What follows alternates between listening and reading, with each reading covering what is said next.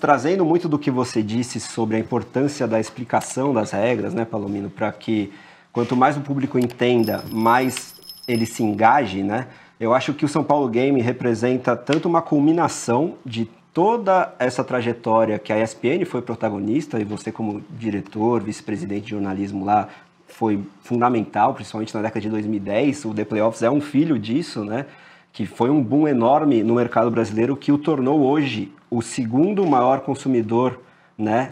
Fora dos Estados Unidos, só o Brasil é quem mais consome, ultrapassando o México aí nesse último ano. E isso foi fundamental para que a NFL, né? Apostasse nessa vinda de um jogo da temporada regular já. Muita gente imaginava que começaria com um jogo de pré-temporada, ou mesmo o Pro Bowl, que é o jogo festivo, mas é um jogo oficial de semana 1, numa data que não, não, não é, abrigava uma partida, uma sexta-feira há muito tempo.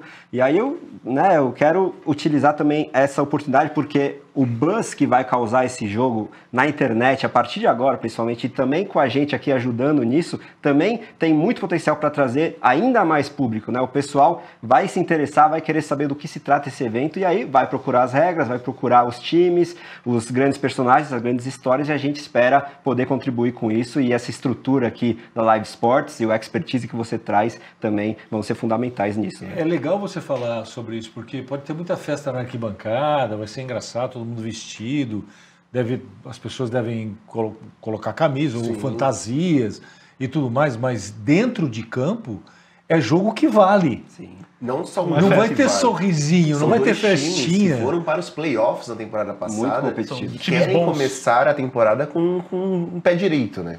Jogando com tudo. Sim, então isso vai ser muito interessante, porque é efetivamente pode ter uma festa, vai ser muito bacana, o entorno, ah, o aquecimento antes do jogo, o intervalo e tudo mais, mas dentro de campo o jogo vale muito, é jogo de temporada.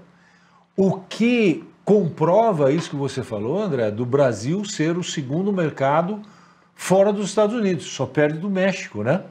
E... A gente acabou de ultrapassar o México, inclusive. É o segundo país no geral que mais consome NFL. Então, né, que consome a NFL. Por isso que, às vezes, eu, eu, eu, vejo uma criança com uma camisa de algum time da NFL, ou vejo.